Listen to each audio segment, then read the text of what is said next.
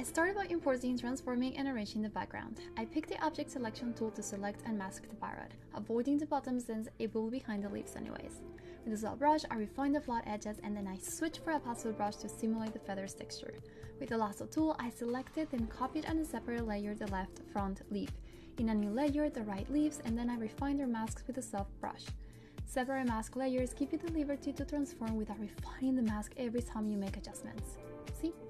To simulate depth of field, I applied a Gaussian blur filter, then transformed the layer to cover the original leaf in the background.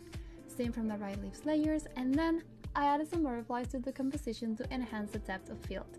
Bigger elements simulate to be closer and smaller further, so for the three front, I added a Gaussian blur filter too. Source of light is in the back, therefore the front elements are darker. With different adjustments layers, I created tonal and color corrections for each of the elements and the overall composition, and voila!